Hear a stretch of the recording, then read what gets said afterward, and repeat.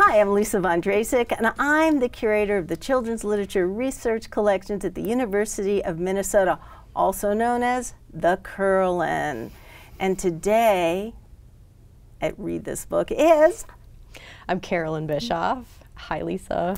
It's been a long time. It has.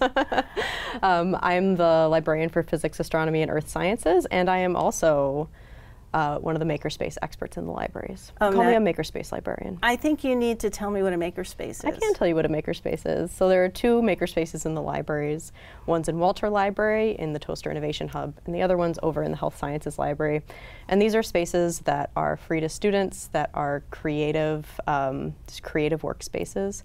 The libraries does something really special, I think, in providing creative materials and tools to students for free, including 3D printers, sewing machines, needles and thread, glue and scissors. Anything All the would stuff I don't have to go out and buy, and I can experiment with and not worry about the cost. Right. And Wow. we yeah, and we have students coming in making cards and bracelets and birthday gifts, and we have students coming in prototyping and printing out anatomy models. So the whole gamut of things. And it's delightful to see, especially when you see somebody coming in making a card, and then you know a couple months, couple of years later, they're coming in and Creating new things that we never saw before. yes, yep. Well, here's something that I'm very excited about. Mm-hmm.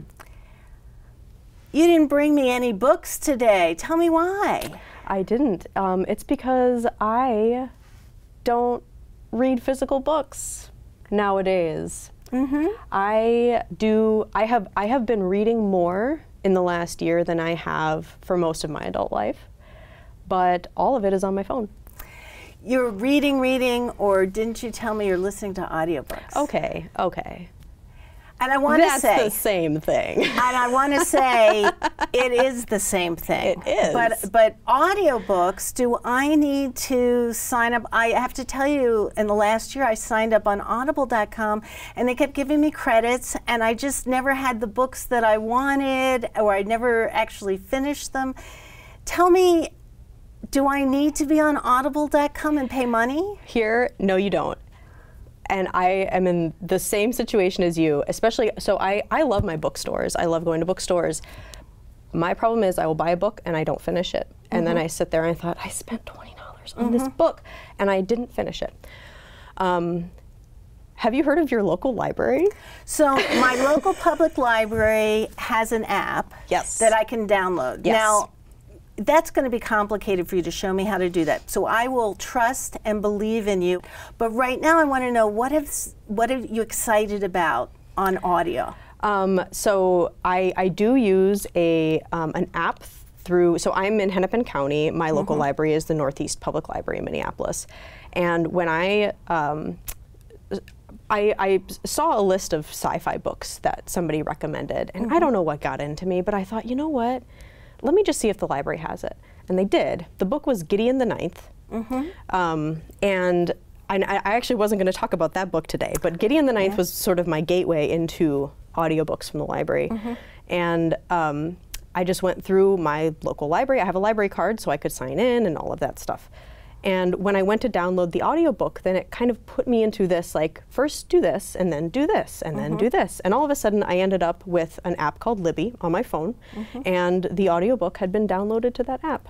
And what are you doing when you're listening to audiobooks? Are you are you are you just sitting quietly in your peacefulness listening to an audiobook or is there something else going on? I am in perpetual motion. Ah. so I listen to audiobooks when I'm driving. I listen to it when I'm walking into work, when I'm, uh, you know, pushing the stroller around the neighborhood with the kids. I am listening to audiobooks when I'm gardening, when I'm doing the dishes.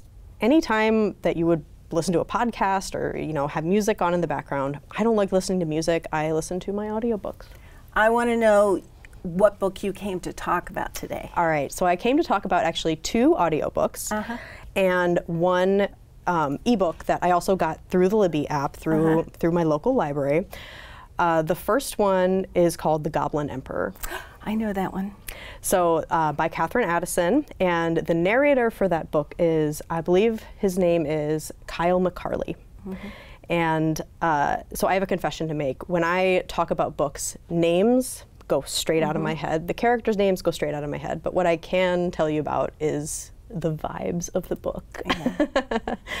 um, first of all, the narrator just opened up the book for me in a way that I don't think was possible if I had read it because the names are so intricate and the titles are so intricate.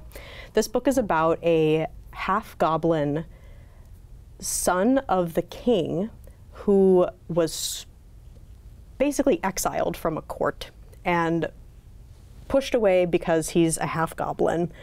And when his father and brothers are in an attack that kills them all, he is suddenly the emperor.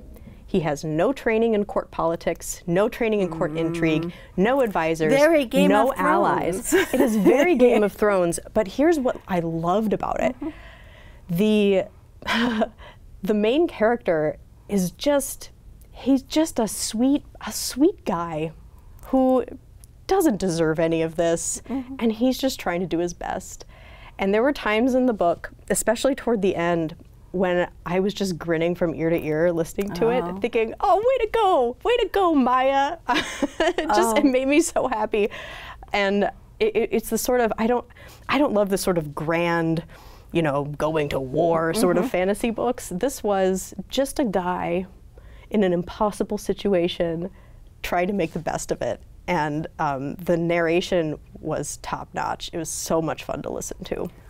Okay, so you have one more. Could you just give us the title and maybe a sentence or two? Yeah. Um, so the the other book that I wanted to talk about is actually a series of 4 mm -hmm. um, but I'll talk about the first one, and it's called All Systems Red by Martha Wells. Mm -hmm. um, it's part of the Murderbot series, mm -hmm.